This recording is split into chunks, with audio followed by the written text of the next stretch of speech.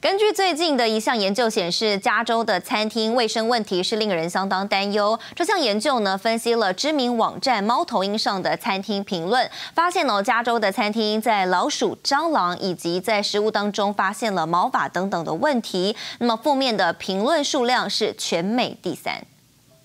资料显示，这项分析着重于三个关键词：肮脏餐厅、食物中有毛发和老鼠和蟑螂，揭示了加州餐厅的普遍卫生问题。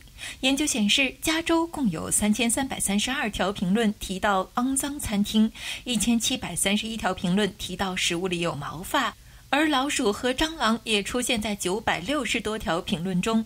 这些数据排在各州之中的第三位，而新泽西州和佛罗里达州分别位列第一和第二位。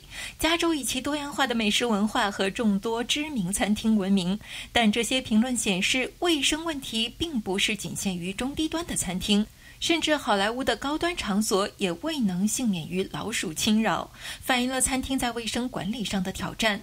分析表明，无论是检查频率还是卫生标准，非连锁餐厅的违规情况始终比连锁餐厅多。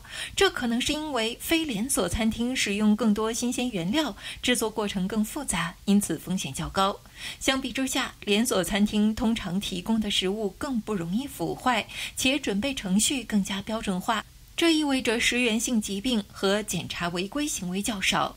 尽管加州餐厅面临这些挑战，当地卫生部门正在积极采取措施以改善餐厅卫生状况。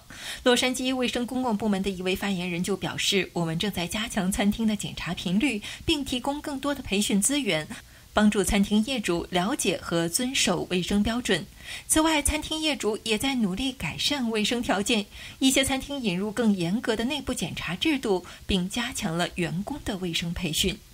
中天中望整理报道。